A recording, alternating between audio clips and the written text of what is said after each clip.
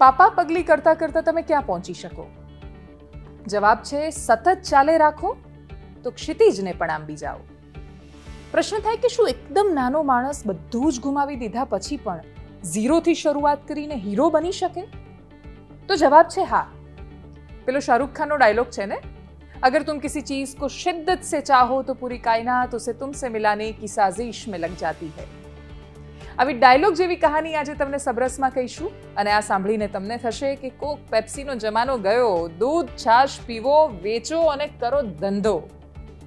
નમસ્કાર, આજે સબરસમાં છાશ વેચીને કરોડો કમાતા ધંધાની વાત શેર કરવા આપની સાથે હું છું દેવાંશી.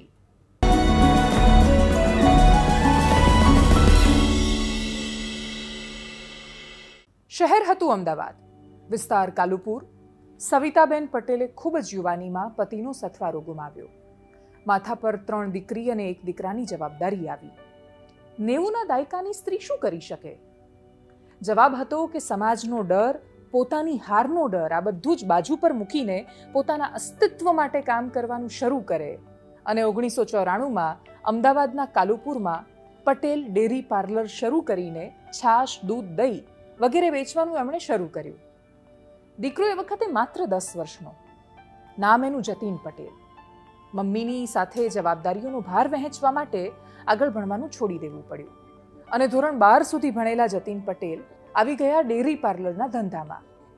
અને ચાર લોકોથી ચાલતું દૂધ, છાશ અને મીઠાઈનું પટેલ પાર્લર વર્ષ બે હજાર બેમાં બન્યું. તમે અને હું જેને આજે ખૂબ સારી રીતે જાણીએ છીએ એવી કંપની છાશવાલા.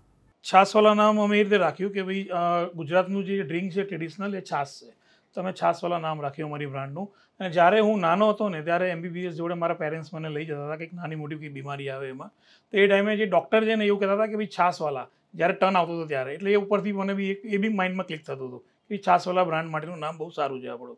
પહેલી ફ્રેન્ચાઇઝી અમે આપી છે અમદાવાદની અંદર અને ઘાટલોડિયા વિસ્તારની અંદર. ફર્સ્ટ ફ્રેન્ચાઇઝી અમારી હતી ત્યાં આગળ. જેમ જેમ અમારા આઉટલેટ વધતા ગયા, દિવસે ને દિવસે લોકોનો ભરોસો અમારી ઉપર આવતો ગયો. અને જે ભરોસો કસ્ટમરનો આવ્યો અને એનાથી અમને બહુ સારો એવો રિસ્પોન્સ મળ્યો અને આજે એ કસ્ટમરના ભરોસેથી અમે બસો આઉટલેટ ઉપર અમે આજે ટીલ ડેટ ઉપર અમે ફ્રેન્ચાઇઝી રન કરી રહ્યા છીએ. બે હજાર સત્તરમાં પહેલી ફ્રેન્ચાઇઝીથી લઈને બે હજાર ચોવીસ આવતા સુધીમાં છાશવાલા બસોથી વધારે ફ્રેન્ચાઇઝી આપી ચૂક્યું છે. ત્રીસ હજાર રૂપિયાના સ્ત્રીધનથી શરૂ થયેલી કંપનીની આર્થિક સફર હવે પંચોતેર કરોડના ટર્નઓવર સુધી પહોંચી છે. ચાર હેલ્પર સાથે ચાલતું પાર્લર પાંચસો પચાસ કર્મચારી સુધી પહોંચ્યું છે.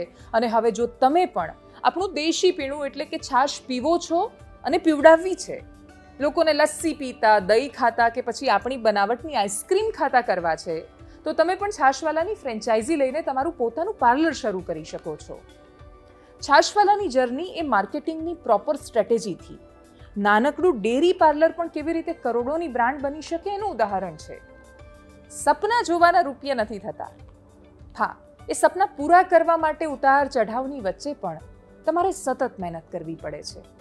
અને જો તમે એ કરો છો, તો છાશવાલા જેવી બ્રાન્ડ પણ બનાવી શકો છો.